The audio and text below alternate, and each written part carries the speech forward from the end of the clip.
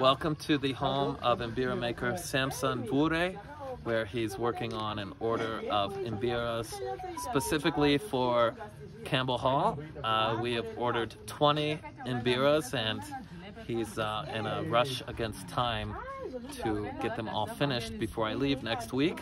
And he's working uh, basically from uh, sunrise to sunset, and he has his son helping him. And we're going to check out the progress of the order right now. Here we go. Hey guys. Hello, Samson. Yes. You're on video here. All right. So uh, come come closer. So this is Samson Bvure uh, building the instruments for the Campbell Hall World Music. Can I go over here? Yes. And so we're just checking in on the order here with the 20 mbiras. So what is your process? Are you just going to do like all of the keys first and then the, all of the tuning or do one full instrument at a time and then move on? Yeah, for the past days, I've been making keys, Okay.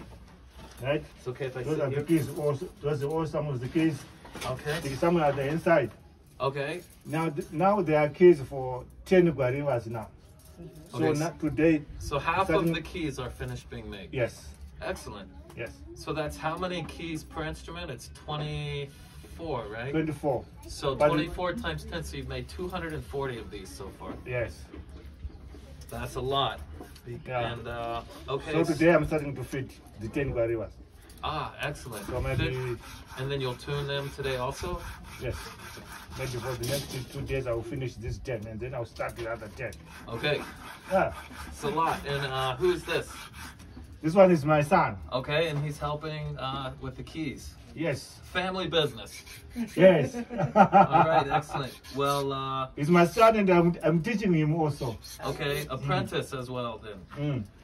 And so how long have you been making mbiras for? Myself, Yes. uh, for, for, for a long time, since 1996. Nin- 96, okay. Mm. Uh, yeah, that is a while. And um, what is your son's name? Soba. Soba? Yes. S O B A? S A L O B Y. S A O O B Salobi. Y. Salo Salobi. Uh, Okay, uh, do you mind saying hello to my students on camera? and how old are you? I'm 25 years. Okay, 25, so you're not a kid anymore.